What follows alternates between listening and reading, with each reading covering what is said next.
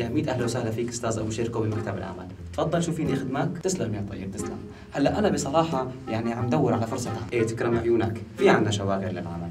بس ممكن أعرف شو معك مؤهلات والله بصراحة مؤهلات ما في ولا حتى أي مهنة. طيب مو مشكلة. يعني هي المؤهلات مو ضرورية. أهم شيء الإخلاص والإتقان في العمل. طيب ممكن لو سمحت يعني تقول لي بشكل سريع. شو في عندكم شواغر لأنه بتعرف ما عندي وقت يعني. هلا صراحة أستاذ أبو شيركو بقسم الوزارات لازمنا وزير ثقافة، طبعا إذا بيناسبك. هلا وزير الثقافة أمم، okay بس الفكرة إنه وزير الثقافة يعني كثير بيطلع على الإعلام وأنا ما بحب الكاميرات رجاء. طيب. ها لقيتها. في عندي شاغر بوزارة الصناعة.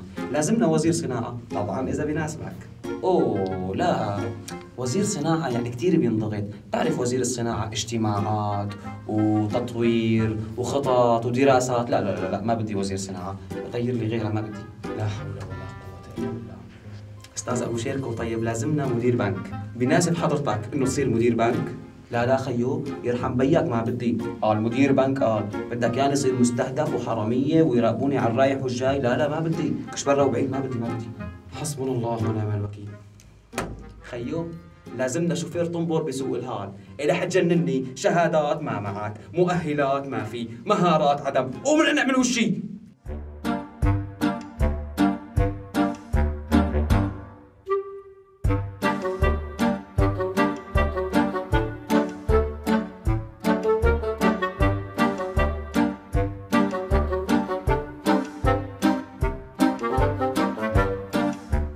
الشباب الموجودين بالداخل السوري مجال خياراتك وعملك رح يكون محصور ومزروق بالزاوية. معلش فهمي شغلة؟ ليه مو على حسابك انت؟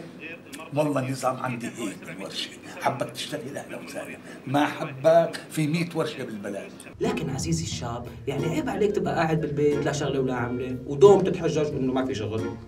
عم تكش دبان يمين ويسار دبان دبان. حاجة مقلزه والله نظفت لي قلبي. حكي. انه في شباب قاعدين بالمخيمات مصابين وهدول الله يكون بعونهم يا رب. هدول في عندهم حجة إنهم يقعدوا لأنه ما بيقدروا يشتغلوا. لكن أخي الشاب الجميل المفتول العضلات يعني ما زبطة منك. يا أخي ما زبطة منك. تبقى قاعد بالبيت وعم تندب وعلى طول عم توقف على الأطلال. ودبانة رايحة ودبانة جاي بس وليه؟ بقوم الله يرضى عليك عمال برمي بالسوق. بركي هيك الله بيفتحها بوشها. شوف خيو عم حاكيك على بساط أحمدي. أنا لا بدي أتفلسف ولا بدي نظر ولا بدي صف حكي. أول خطوة وأهم خطوة لحتى تبحث عن فرصة عمل مناسبة هي الاستيقاظ المبكر. يعني ما زبطة منك تروح تدور على فرصة عمل وانت فايت عند زلمة الساعة 6 المساء. لازم تفيق الساعة 8 الصبح لأنه لا إراديا صاحب العمل أو مدير المؤسسة مدير المنظمة المعلم صاحب المحل. لما بيشوفك فايت لعنده الساعة 8 الصبح رح ياخذ عنك فكرة جيدة إنه أنت نشيط. بعكس ما تفوت لعنده الساعة 6 المساء بقول عنك كسول. بتريد يقول عنك هيك؟ ما زبطة حمود؟ حمود حبيبي حمود. كل خلقة ربك بيفيقوا مع طلوع الضوء. لك ما هم كسلانين مثل البني آدم. بعدين خلينا نهبش هبشتنا بالدبابير قبل ما حدا يسبقنا. الخطوة الثانية عزيزي الشاب هي تحديد المهارات الشخصية. يعني أنت قبل ما تروح قبل ما تبحث وقبل ما تتعب حالك وتتعب رجليك وتتعب غيرك خيو اعرف شو هي مهاراتك وشو هي مؤهلاتك وشو بتقدر تقدم. خي عطني خباز خبز وشو هالحكي هلا شوف خيو الخطوة الثالثة ممكن تكون ممكنها مناقضة للخطوة اللي قبلها بس ولكن ضرورية ومهمة جدا جدا جدا. أهم شيء تكون تتمتع بالثقة بالنفس. يعني خيو شو ما انطلب منك شغل؟ قل له آمين okay I am ready أنا جاهز خيو شو بدك تكرم عيونك؟ مثل الزبديه الصيني. ولا تقول هي الشغله ما بعرف اشتغلها احتمال كتير كبير بتلاقي أشخاص يفيدوك ويساعدوك ويدلوك شلون تشتغل صح. أهم شغلة حرك اللبان لك اللهم صل على النبي على هالذكاء الخارق اللي عندك. شو هاد الكروحي أنت؟ لازم تكون نجم ما تكون كومبارس مثل حكايتنا شوف هلا بجوز تستغرب تقول ليش حامل ضربة الدبان بإيدي. خليك مثل حمود حبيبي حمود. حمود حبيبي حمود. قاعد لا شغلة ولا عملة زلمة متجوز الله يكون بعونه. راح صحن له فرصة عمل إنه يصطاد دبابير وعلى كل دبور بياخذ 10 ليرات. حملة لمكافحة الدبابير.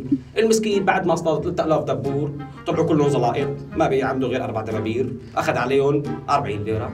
هلأ صح هو ما استفاد شيء وانقرص ب 100000 بس كسب شرف المحاولة وما ضل قاعد. بعدين لقمة الحلال مغمسة بالقرص.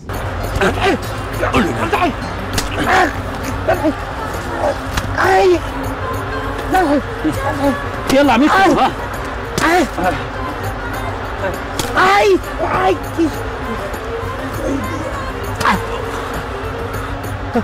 ها اصمت اصمت اصمت اصمت اصمت عم يكتروا عم يكتروا أودعناكم